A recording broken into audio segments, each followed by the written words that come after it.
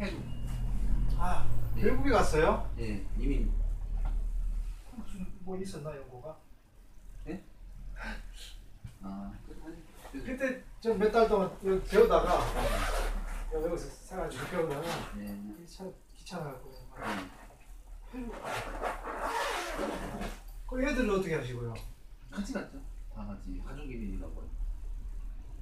뭐 방학기 있나 보지 간지 벌써 3년 정도 넘었어요.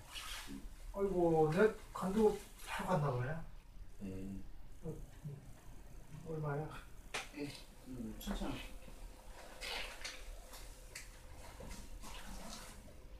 네. 다른 거 뭐 이상 없었나요? 그냥 대충 뭐 네, 연습용으로 괜찮아요. 괜찮아요 네. 워낙 싼 거라 가지고 나중에 주면 되지 그래도 나쁘지 않아. 나쁘지 않던데. 여기서 사귀어줘서 그런가? 네. 네, 안녕하세요.